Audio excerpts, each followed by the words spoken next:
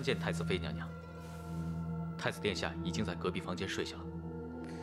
很好，拓和奇，事成之后，本宫是不会亏待你的。那是太子妃娘娘安排的妥当，奴才不敢居功。你先退下吧。这。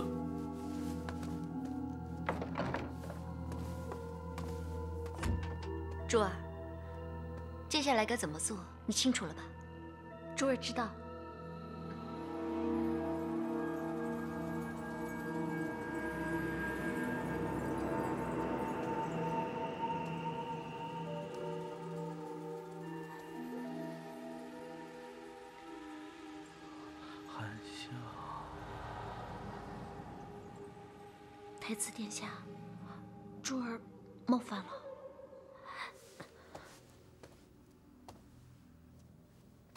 下对我恩重如山，我不能辜负他。可是，太子妃娘娘，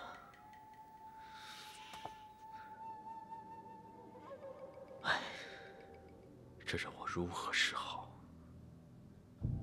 看来只能出此下策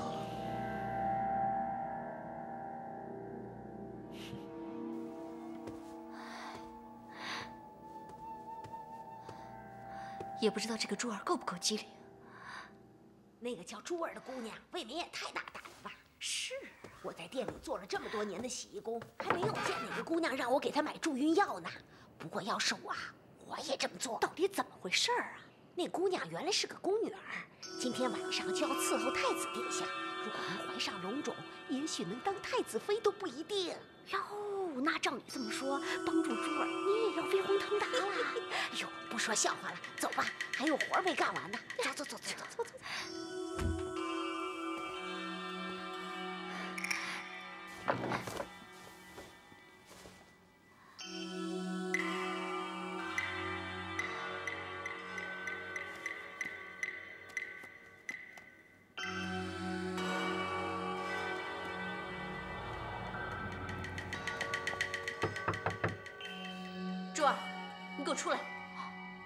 娘娘，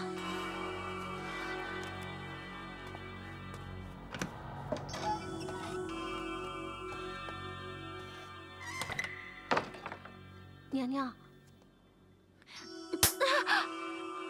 你竟敢背叛我！你活腻了是不是？娘娘，珠儿对娘娘绝无二心，请娘娘相信珠儿。行了行了，我不用你帮忙了。这件事情，你不许对外宣扬。你先退下吧。是。拓和吉，又是你干的好事。易柔，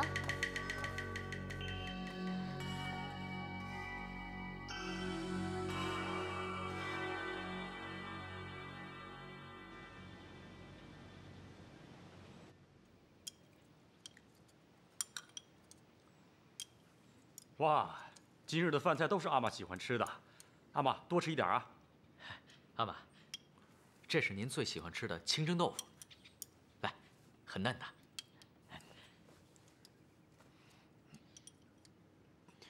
阿玛，您怎么了？怎么看起来没有胃口？是不是哪里不舒服？啊，我没事。来，都吃饭吧。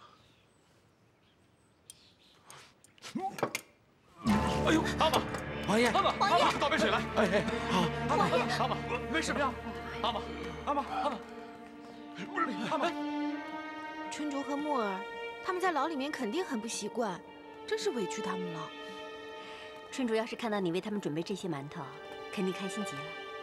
嗯，那我们快点走吧，我已经迫不及待的想要见到春竹他们了。嗯。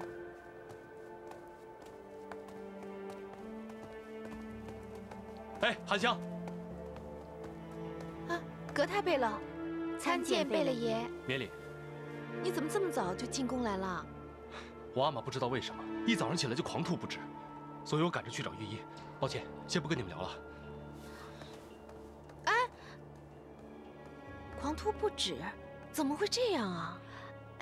我们别管这么多了，你不是说急着见到春竹他们吗？我们走吧。嗯，我们走吧。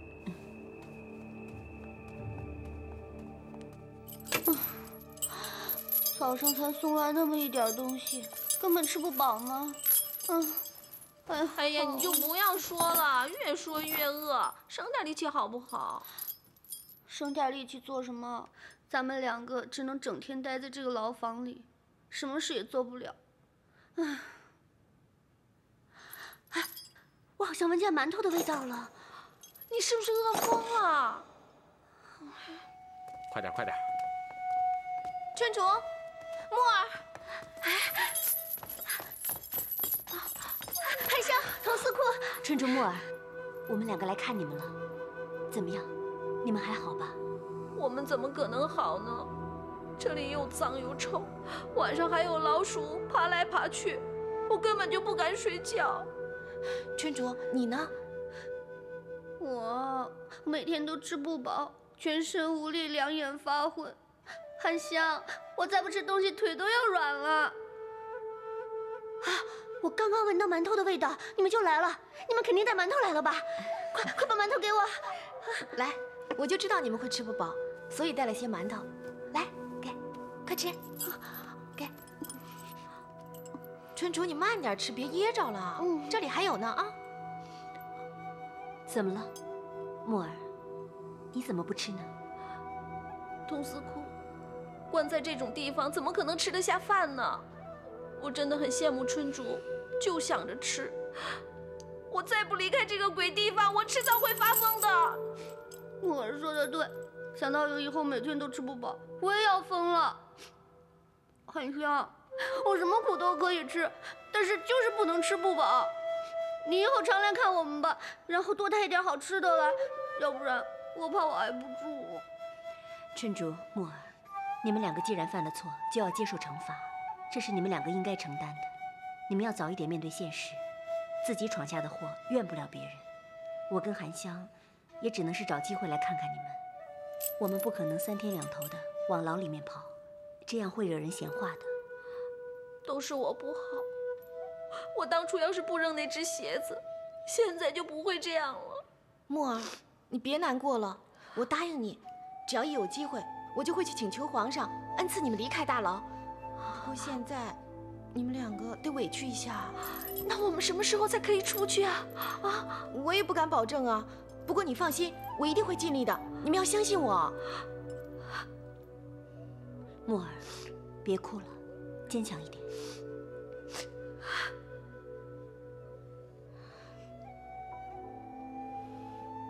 春竹，你怎么了？刚才不是很饿吗？怎么又不吃了？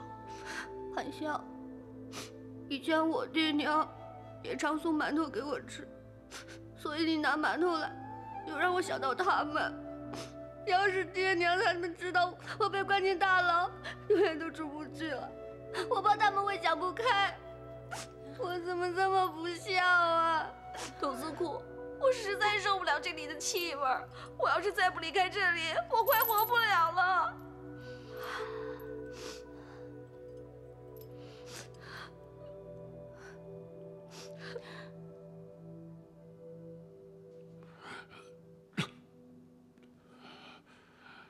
下去。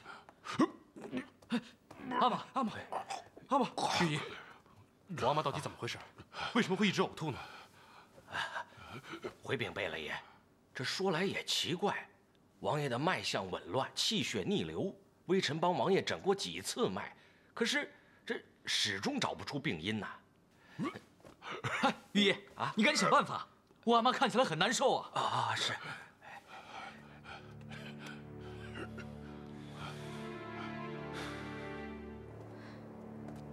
童思库。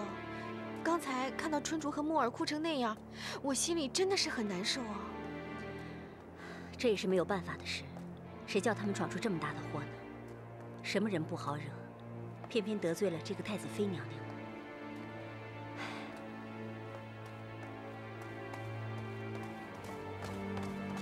哎，怎么回事啊？这些御医行色匆匆的，他们是要去哪儿啊？是啊，到底怎么回事？哎，曹御医。哎，童四姑，曹御医，请问到底发生了什么事啊？列亲王一早起来就狂吐不止，方才张御医去诊断却找不出病因，所以院使已经把列亲王请到了太医院，并召集所有御医过去商讨王爷的病情。哎，不好意思，下官得先走一步了。啊，走了。怪了，列亲王怎么会无缘无故染上这种怪病？狂吐不止，狂吐不止。啊，不会是误食了黑独孤吧？童司库，咱们也赶紧过去看看吧。不行啊，太医院这种地方可不是我们说去就能进得去的。我们别管这么多了，走吧。嗯嗯。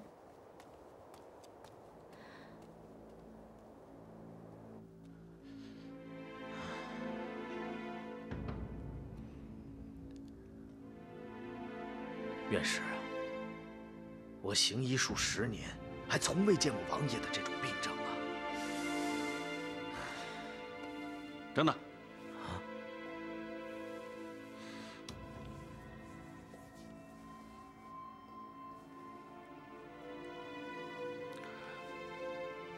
王爷手臂上起的这些黑色的疹子，诸位御医，有谁见过这种症状啊？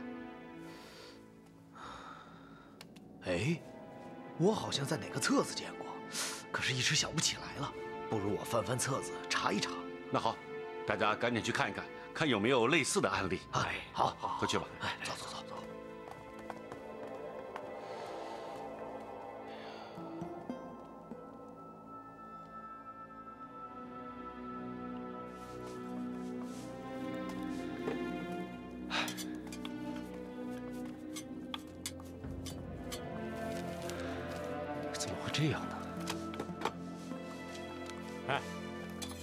要走来走去的好不好？烦死人了！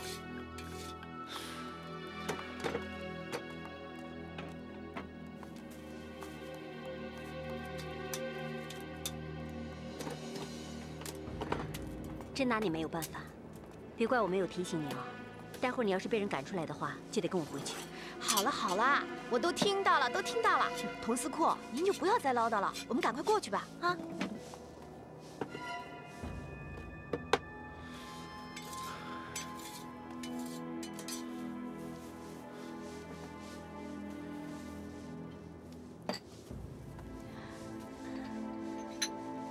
香，像现在这种情况，你说，哎，葛太，谁准你将他们带进来的？贝勒爷，你们怎么都进来了？院士，我是想来看看我阿玛的情况，我阿玛到底怎么样了？葛太贝勒，现在王爷除了狂吐不止外，手臂上还出了黑色的疹子。现在我让御医们正在翻阅案例，看能不能找出缓解的药方。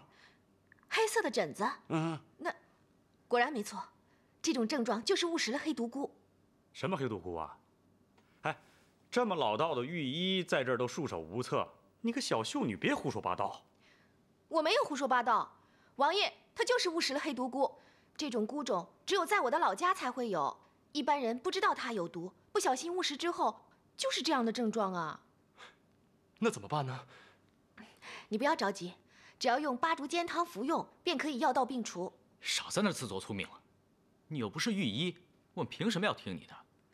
哎，那。哎，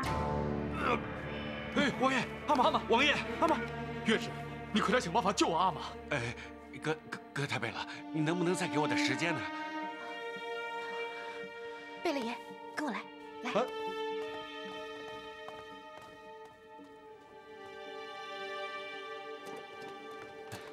韩香，你拉我出来到底要干什么？贝勒爷，我刚看过王爷的症状，他肯定是吃了黑独孤。这事儿错不了的，你一定要相信我，韩香，你管这件事会担很大风险的。他的病要是好了也就罢了，万一出了什么状况，你会掉脑袋的。不会的，我有十成的把握。格泰贝勒、佟司库，你们一定要相信我，我绝对不会害王爷的。好，我就相信你一次。贝勒爷，没有御医的药方，下官真的不能乱煎药啊！你怎么就那么固执呢？本贝勒爷要你按照韩香说的药方去煎药，你照办就是，哪有那么啰嗦？好，贝勒爷，您开方子吧。韩香，你说。八竹树节，三碗水煎成一碗，够了。啊，就就这一味药啊？对，就这一味。呃，好，我这就去抓药。韩香，你真的有把握不会有什么问题吧？童思阔，您不用担心，这件事情不会有任何差错，我绝对不会拿自己的脑袋开玩笑的。希望你这药方真的能够奏效。童思阔，您就放心吧，绝对不会有问题的。嗯。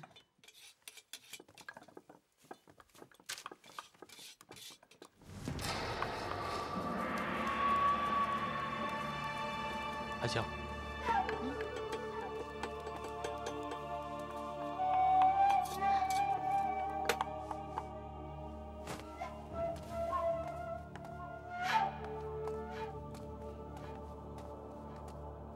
哎，我说葛泰，你安的什么心呐？你居然让一名小秀女给咱们阿玛开药方，这像什么话？哥，我相信韩香，她说这汤药有用，就一定有用。如果不行呢？万一阿玛有个什么闪失，你们谁来担这个责任？如果真有什么意外，一切由我承担。好，葛泰，这可是你说的。如果阿玛有一点闪失，我定请皇上治你死罪。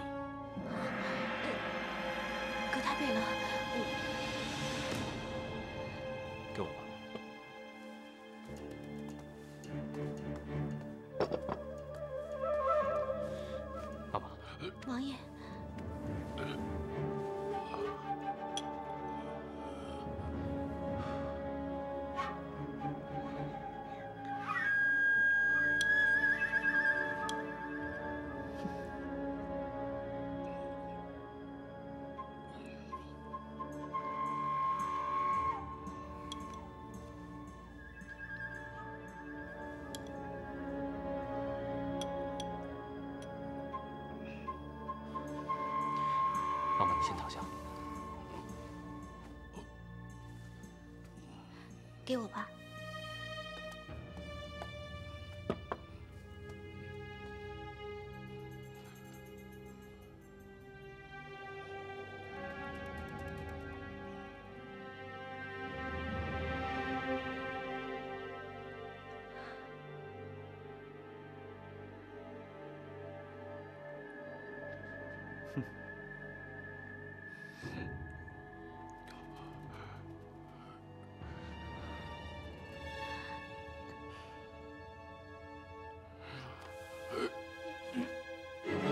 阿玛，阿玛，你怎么样？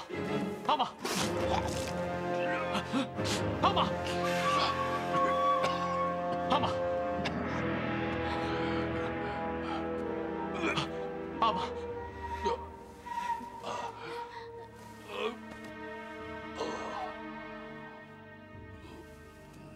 好啊，葛泰，你果然不是阿玛亲生的，你居然害阿玛的病情加重，我这次一定要治你的罪。啊，这韩香，这到底怎么回事？怎么会变成这个样子？两位贝勒，你们不用担心，王爷是排除体内的毒素，所以才会呕出这些黑血。只要让王爷多休息一会儿，我相信他马上就能好了。胡说八道，信口雌黄，你个小秀女！哼柳寒香，你这个罪魁祸首，跟我一起去见皇上。来人，在！你们再给我点时间，王爷会醒过来的。把柳寒香跟格泰拿下。这，你你住手！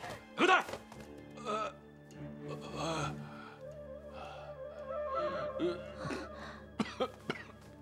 阿玛，你醒了。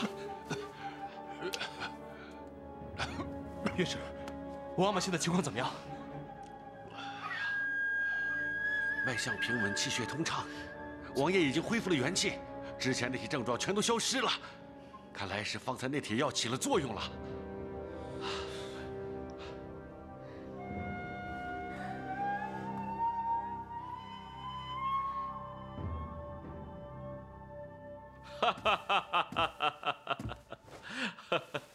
好，很好，韩香，想不到你这么有本事，就连太医院的御医们都束手无策的病痛，也能让你治好啊！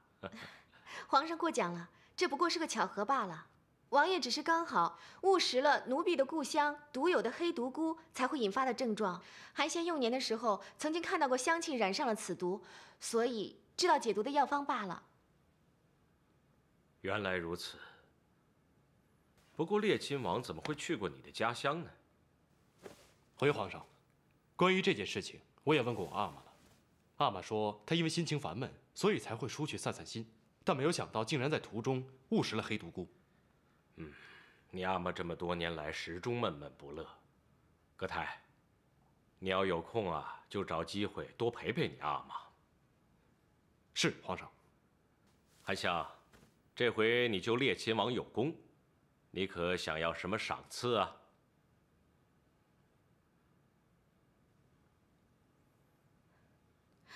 皇上，韩香恳请皇上重审孟春竹和林木儿一案。参见皇上。免礼，都起来吧。谢皇上。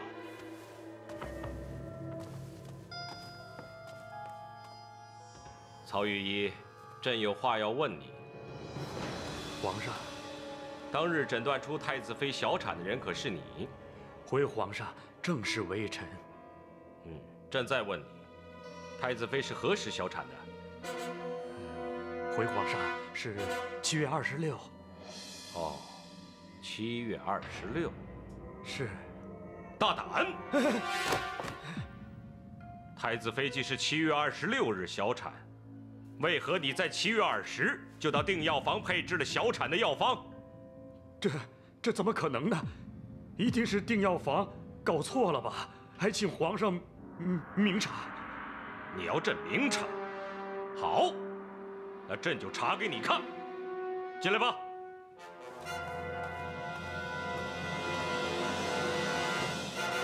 参见皇上。免礼。谢皇上。医师，把你所知道的，一五一十的向皇上禀报。是，启禀皇上。这本记录配药的医册上，清楚地记载着曹御医于七月二十日配了一些小产的药方，而且一连数日均是如此。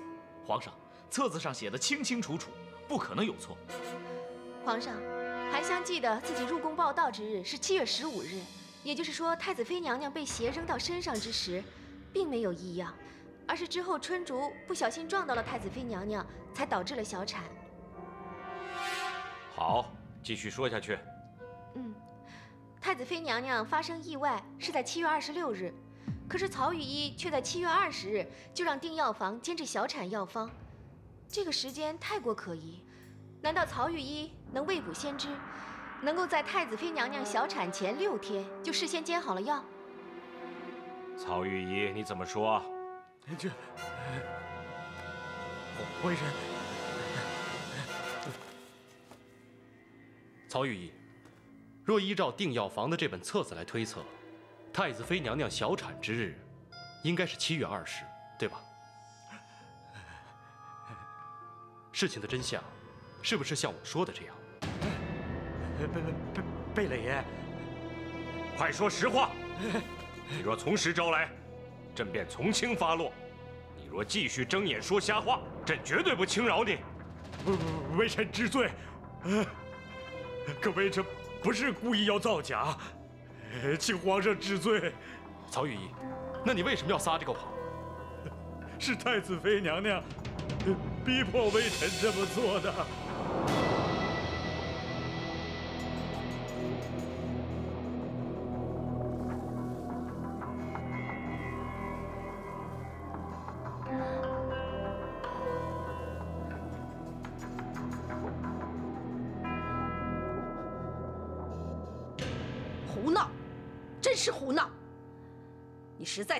家失望了！你胆敢编出这种漫天大谎，差点害死两名秀女。皇太后，臣妾也是有苦衷的吗？苦衷？你做出这么缺德的事还有苦衷？你别装出一副可怜兮兮的模样。你知不知道，关在牢里的那两个秀女才有苦衷呢？朕问你，为什么要这样做？皇阿玛。臣妾之所以会做出这种事情，还不都是因为太子他心系柳含香，所以才会想出这个办法来对付那个秀女。臣妾没想到最后会害了孟春竹和林木儿。尹仍，儿臣在。难不成你上回要强娶柳含香未果之后，还在继续跟她纠缠？儿臣没有啊，皇阿玛，自从上次之后，儿臣一直谨记您的教诲，不敢做出逾矩之事。是他，整天在那儿胡思乱想，才会闯出大祸。整件事跟儿臣无关呐。是吗？太子要真的那么安分的话，我又何须处处提防柳含香？你何不干脆说是那个女的在勾引你？够了！你贵为太子妃，竟然跟一个秀女斤斤计较，整天在意这些无聊的事，成何体统啊！清华太后息怒，息怒！你闯出这么大的祸，还敢叫哀家息怒？如果这件事传出去，你说怎么办？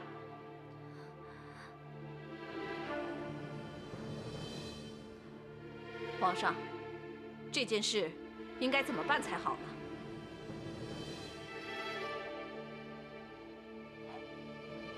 回皇额娘，这件事张扬不得，否则会有损皇室的颜面。但太子妃犯了错，理当受罚，否则她永远也学不到教训。你血口喷人，诬陷他人。尹禳，儿臣在。给太子妃掌嘴。好好教训他那张不知轻重的嘴。是。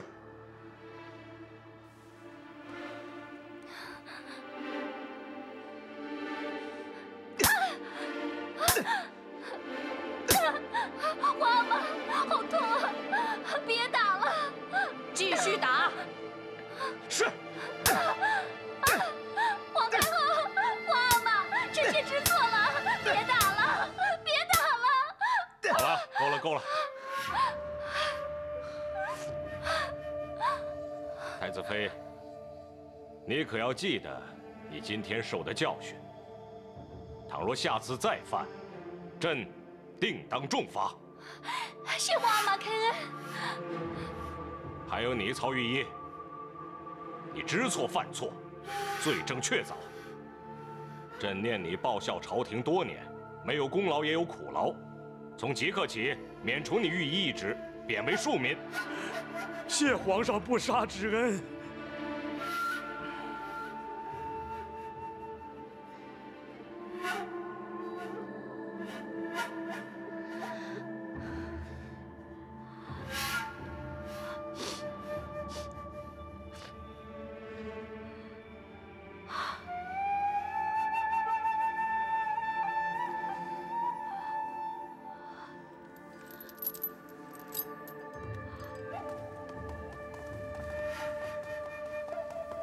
把门打开。是。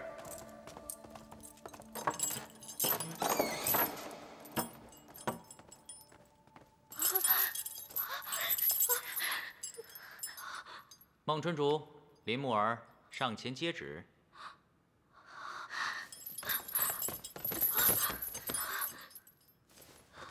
奉天承运，皇帝诏曰：广楚司司衣库秀女孟春竹、林木儿被控过失致使太子妃娘娘小产一案，日来经查，系属意外，与孟林二女无关，着令改判无罪，即刻释放。钦此。你们两个还不快快谢恩？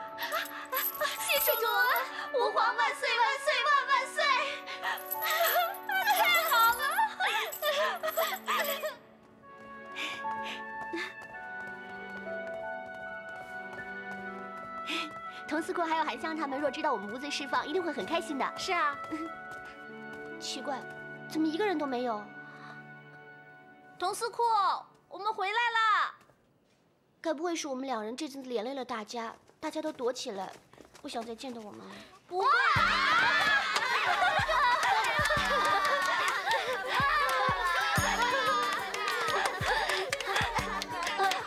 恭喜你们两个无罪释放！我以为你们再也不理我们了。是啊，你们这两个傻丫头，我们一听到这个消息啊，姐妹们都很兴奋地去准备你们喜欢吃的东西了，说是要等到你们回来之后，大家好好庆祝庆祝。你们也知道，现在晚饭的时辰已经过了，大家都费了好大一番功夫来准备，怎么会不理你们呢？太好了，童四库，我在牢里虽然饿得发慌，可就是没有胃口吃东西。现在终于可以开开心心的吃一顿了。童四库，还是您想的周到，谢谢您。谢我干什么？准备吃的只不过是小事。你们两个真的要好好谢谢格泰贝勒和韩香才是。这回你们两个能改判无罪，保住了一条小命，全是他们的功劳。嗯，谢谢贝勒爷，谢谢韩香。好了，你们也确实是无罪的，我只是帮忙找出证据而已。快起来吧。快起来吧。救命之恩非同小可，我和木耳根本就不知道自己是被陷害的。要是这么丢了小命去见阎王爷，那不是成了糊涂鬼吗？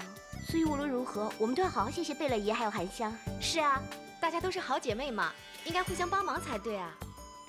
韩香，不如我们一起举杯，庆祝春竹与木耳他们大难不死，必有后福。好啊，好啊。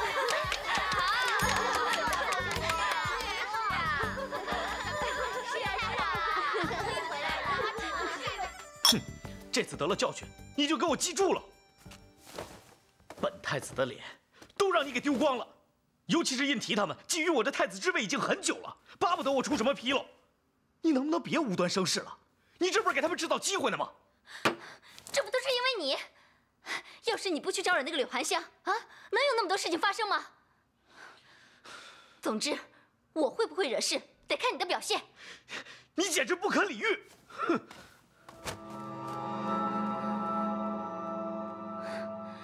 柳寒香，这笔账就算在你头上，以后本宫会连本带利让你还回来的。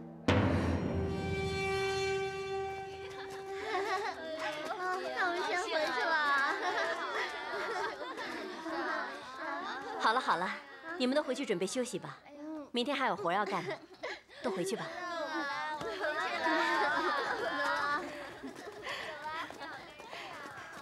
佟思库，那我也先回去了。嗯。哎，等一下，等一下，等一下，先别走啊，我还要敬你们一杯呢。哎呀，春竹，你不用客气了，我们真的不能喝了。不行啊，喝一杯就好了。好好，我喝，我喝。来。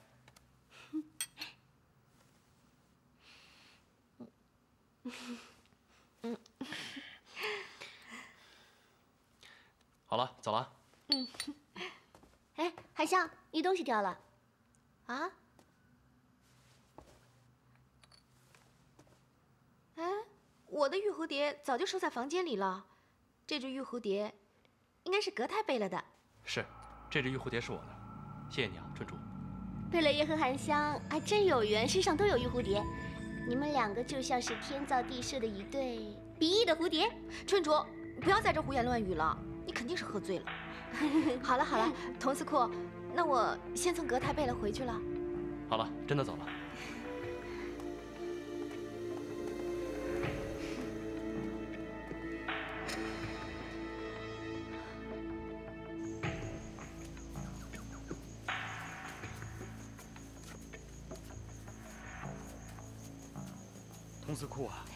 司库，佟司库，有什么事儿吗？佟司库，是不是我们家韩香出什么事了？请二位放心，韩香她一切都好，没事的。啊，那那您找我们有什么事吗？啊，我今天是找借口出来到集市上补货，所以时间不多。这件事又事关重大，所以我就开门见山的跟你们二老说了。我发现格泰贝勒身上也有一只跟韩香一模一样的玉蝴蝶。啊？为什么格泰贝勒身上也有这样的玉蝴蝶呢？据我推论，当年以丹格格产下龙凤胎，将一对玉蝴蝶一分为二，分给两个孩子，所以格泰贝勒很可能就是以丹格格的儿子。啊，那格泰贝勒不是烈亲王的儿子吗？怎么会是以丹格格的孩子呢？一直有传闻说格泰贝勒是烈亲王收养的，并非亲生的。是这样的。哎，就算格泰贝勒是韩香的胞兄，那又如何呀？原本是没什么事的，但是这段时间经过我的观察，我发现他们两个对彼此互生好感，彼此喜欢着对方。如果他们两个真的是一对孪生兄妹的话，根本就不能在一起的，所以我才赶紧过来找你们商量这件事。哎呀，太天，你说这怎么办呢？既然有这样的疑虑，就不能让他们两个在一起呀。哎，那我们要用什么办法来拆散他们两个呢？是啊。用什么办法呢？哎呀，为了不让他们铸成大错啊，看来我们也只好告诉韩香她真实的身世了。好，既然您二老都同意的话，那今天回宫后，我就找个机会告诉韩香有关她的身世。你要是跟她说，他会相信吗？也是。那您说该怎么办啊？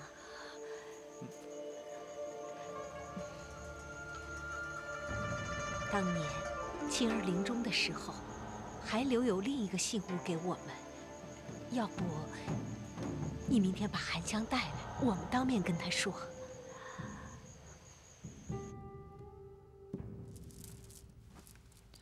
你是说，佟司库明天又要带韩香出宫？是的，佟司库已经向海大人报备了。那你知道他们出去做什么吗？佟司库是以采买为理由，说是要出宫的，但我觉得不大对劲儿。有什么不对劲儿的？佟司库不是也常常出宫吗？是的，佟司库出宫不是什么稀奇的事，只是前些日子佟司库才以采买名义带韩香一起出宫，而且今日下午他又出宫去补了一些货，不知为何，明日又要出宫去采买。嗯。太子妃娘娘，雪雁觉得这件事有些蹊跷，所以才来向您禀报的。不如这样吧，本宫给你出宫令牌，明日只要韩香他们一出宫，你就跟过去看看，看他们究竟在搞什么名堂。是。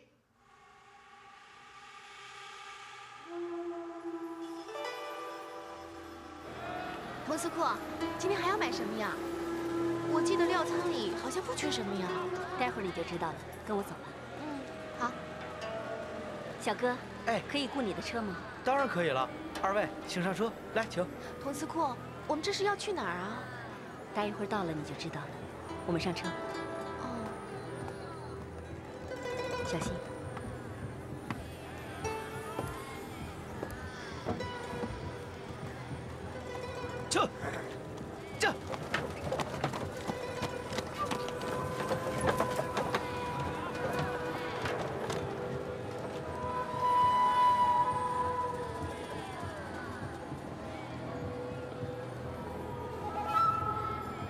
师傅，吁吁。哎，二位，请，慢点。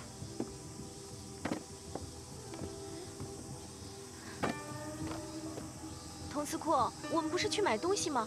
怎么到我家来了？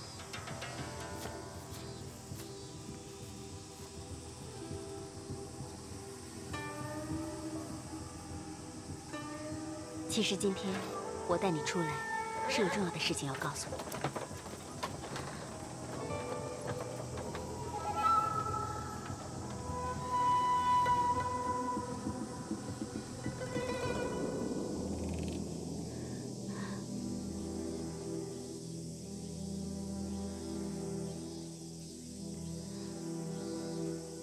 爹，娘，你们到底有什么事要跟我说呀？脸色都那么难看啊？哎呀，孩子他爹，你说吧。哎，孩子跟你亲，还是你说吧。我我，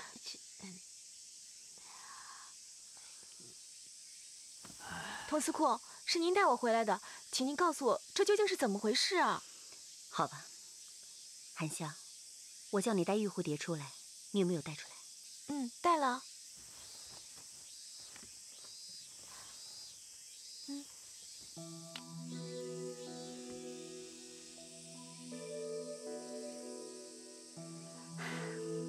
时间过得真快啊，都二十几年了。韩香，我今天要讲个故事给你听。嗯。大约二十几年前，有一名小奴婢。他虽然是王府里伺候格格的奴婢，但他却很喜欢刺绣裁缝，手艺也不错。后来受到主子的关爱与提拔，他终于进宫当了一名绣女。小奴婢当年是卖身给王府的，在王府当一辈子奴仆也是理所应当的。但格格居然替她赎身，让她入宫当了绣女。这个小奴婢十分感激，于是她花了三天三夜的时间，做了一对玉蝴蝶，回赠给他的主子。童心，这位是海大人。见过海大人。好。海大人，这位就是我跟你提到的童心，她的绣工技巧可谓一流，所以拜托你让她进司衣库一展长才。啊，奴才绝不负格格所托之事。以后你就在这好好学习技艺吧。